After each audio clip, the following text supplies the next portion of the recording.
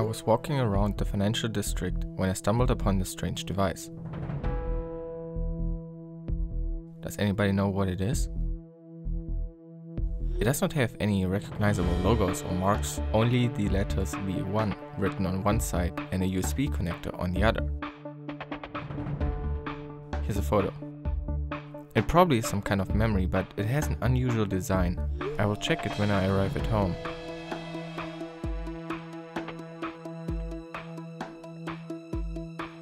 I finally arrived at home.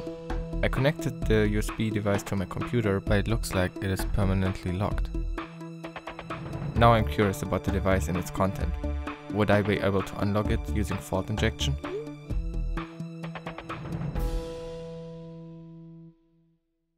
Hey guys, this was a reenactment of the story in the description of the Fiesta challenge from the Riscure Embedded Hardware CTF. I'm really excited about this one, so check it out. The device is permanently locked. We can imagine that the code could look something like this. A loop with a condition that will always be true, so an endless loop. And it just prints lock. Which sucks because we want to get to the code after the loop, where it prints the secret. Clearly, there's no way to reach that code ever. That's what a software developer would say. But bear with me. We will perform a hardware attack and glitch our way out of this loop. I'm so excited about this challenge, it was my favorite thing to experience and the perfect end to the Riscure Embedded Hardware CTF for me. Get ready to get your mind blown.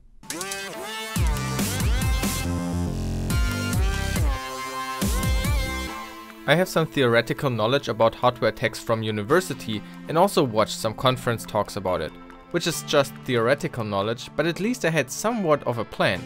So the challenge is a fault injection challenge, which means you kinda screw with the hardware so it does something wrong. And there are several ways how you can perform a fault attack. For example, you know from movies how an EMP can crash electronics, so trigger a small electromagnetic pulse to the chip and it might do something weird. Or the chip runs from a clock at a certain speed and weird things happen once you let it run faster than intended or a lot slower. But what I will do is a power glitch, which means I want to cut the power supply for a really short amount of time so that the device does not reset, but it does something weird. And so to do this, I need to build something. I choose to do it with an FPGA developer board that I have still laying around. An FPGA is, for now, just like any other electronics board, something that you can program to do whatever you want. In my case, I want to use the switches to control the length of the power cut and a button as a trigger. And I want to use a single wire as an output of the FPGA to control an electronic switch that turns on or off the power supply, so a transistor. So let's focus on the first part, programming the FPGA so that it does what we want. If you are a software developer, then you might find the code that you write for FPGAs very weird. At least for me, it took quite a while until it clicked for me, because you are not writing sequential programs, but you are actually just writing a definition, a description of a digital circuit. The same description languages are basically used in designing real chips like CPUs. And so what you are looking at here is a very very simple chip that I have designed. This is just the first test to get into writing Verilog code again, but let me try to explain. Like I said, I'm describing the behavior of the chip here. And at the beginning I'm saying this chip has a few inputs, for example a switch, a button and the clock. So the FPGA board also has a clock signal, which is just 01010101. And I define some outputs, two LEDs and a regular output pin on the board. Then I define some internal registers, so a small memory cell that remembers some values. I already defined a 32-bit counter register, but ignore that for now and a glitch register, which will be the output for the glitch, so 1 power is on or 0 power is off. Now I connect these internal registers with an actual output to the chip. Imagine really wires going from the glitch register to the output, so the LED as well as the pin output are directly connected to the register value. And also I connect the button input to the other LED output, so obviously when the button is pressed the LED will turn on. You see, really just describing how the chip is wired up. Then I set some initial values. These values are set when the device powers on. So the counter for now is set to start at 0, but the glitch power output is 1, so turned on at the start. And then comes a block that just describes what happens in each clock cycle. every time when the clock signal has a positive edge, so a rising edge, it will do the following. It will take the value in the glitch register and invert it. And you know the glitch register is directly connected to this output pin, so that pin will just wiggle 101010 with each clock cycle. Then you just compile the hardware definition and program the FPGA. And by programming the FPGA, I don't mean it writes some kind of sequential assembler code to some memory. This is not a processor. You can build the processor with it, so it's kind of a layer deeper, but it basically contains a lot of digital building blocks which will be connected together in a way that it does what you described. So yeah, it's a lot of magic, but it's quite fascinating how it works, so you should look that up. And then we can look at the oscilloscope and see that it works. You see that the output pin here constantly goes 010101. Cool, huh? Now I just have to write a bit more Verilog code to get the behavior that I want. So for example, I want to use the switches of the board to set how long the power should be turned off. So I have to include them in another definition file. Developing this hardware stuff is really frustrating at the beginning, but I learned it on my own a few years ago because I heard that FPGAs are awesome. I think it was just a time when Bitcoin people started to implement mining on FPGAs. The Verilog code is still very short because it's not a really complicated circuit, but let's see. So first of all, everything here happens when the FPGA sees a rising edge of the clock. And then the stuff in here doesn't happen sequentially, it just defines what happens when the rising edge is seen. It's all simultaneously. It's connected wires in a digital circuit, not a program.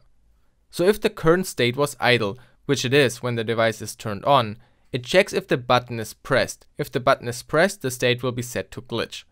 So with the next clock cycle, now the FPGA is in the glitch state, where it will output a zero to indicate the power will be turned off and start incrementing the counter. So with every clock cycle, it will now increment this counter. At some clock cycle in the future, the counter will have the exact binary value of the switches. So with the switches, you can obviously set a binary number with zeros and ones. So if that is reached, the state will be changed to hold off. By that I mean, I don't want to accidentally glitch multiple times after each other because a glitch is super short and when I don't release the trigger button fast enough, it could glitch again.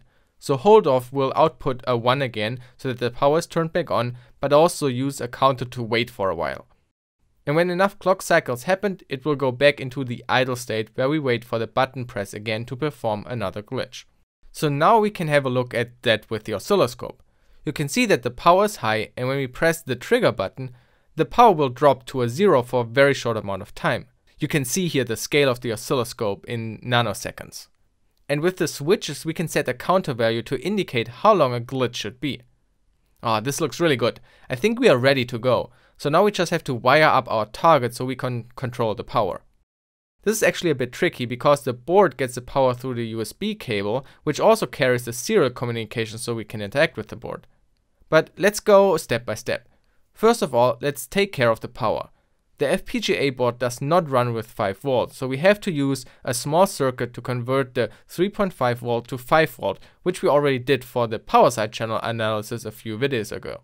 So I just reused the unidirectional level converter. Looks complicated, but does nothing else than being able to switch 5 volt with a 3 volt signal. And we can hook up now that 5 volt to the VCC, the power in of the board you can see you don't have to go through the USB cable, you can just directly connect to the power supply. Now we just need to somehow be able to interact with the board via serial. As you know, those Arduino boards have an extra chip on there, a USB to UART, so a serial converter. Which is great because we already have the USB drivers for that installed on my laptop. Now I just take an Arduino Uno that I have and remove the Atmega microchip. So basically now only the USB to UART chip is left and I can directly connect RX and TX to the target board. When I now establish a serial connection with this Arduino Uno board, what I actually do is talk directly to the serial of the challenge board. And here is the complete setup. We have the FPGA which performs a power glitch, which can be configured with the switches, and pressing the button will actually do it. The 3 volt glitch output of the FPGA is converted to 5 volt via a unidirectional level converter and then is connected to the VCC, the power in of the target board. So when the glitch output of the FPGA drops, the power supply to the challenge board is cut for a short moment. And to interact with the board via serial, we hooked up the USB to serial converter chip from another Arduino. Awesome! Now all we got to do is to connect the serial so we can observe the lock message and then play around with the length of the glitch. You can also see that the power doesn't completely drop like it did before without a target.